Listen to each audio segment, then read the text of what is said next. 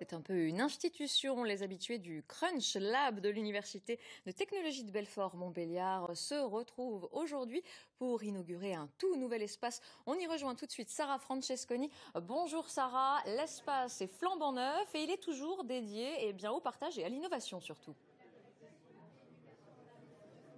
Bonjour Aude, oui tout à fait, je me trouve ici au cœur du Crunch Lab.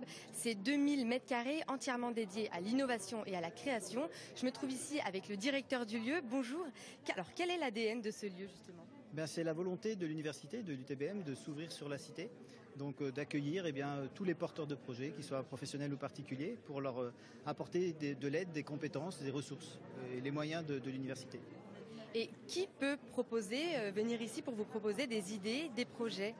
Alors tout le monde, euh, tous ceux qui ont cette euh, envie de créer euh, des, projets, que ce soit pour eux ou pour que ça devienne des projets des entreprises par exemple, donc nos étudiants bien entendu, des professionnels qui sont déjà en place ou des particuliers qui ont cette envie et cette vocation de, créer des belles entreprises.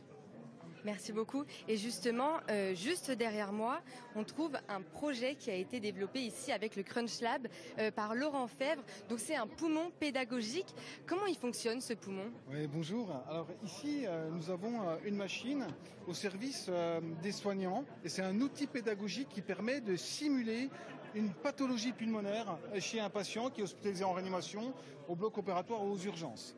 Alors, par exemple, avec ce module-là, on est capable de simuler un patient Covid grave avec une grosse atteinte pulmonaire. Ce petit module-là est capable de simuler une crise d'asthme euh, gravissime ou alors une obstruction des voies aériennes. Et, derrière, un petit boîtier noir qui permet de, faire respirer spontanément d'une manière autonome un patient, euh, en réanimation afin que les soignants puissent imaginer qu'on puisse l'extuber. Donc vous, vous travaillez à l'hôpital Nord-Franche-Comté, donc vous êtes venu ici avec des connaissances plutôt médicales.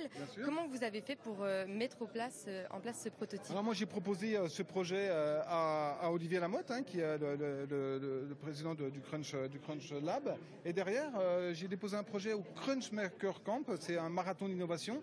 Et je me suis, il y a des ingénieurs que, vous voyez derrière moi là, sont venus rejoindre le projet. Donc j'ai des ingénieurs en, en informatique, en mécanique et en en, électronique. Et derrière, tous ensemble, ben, on a monté ce beau projet euh, au service des soignants.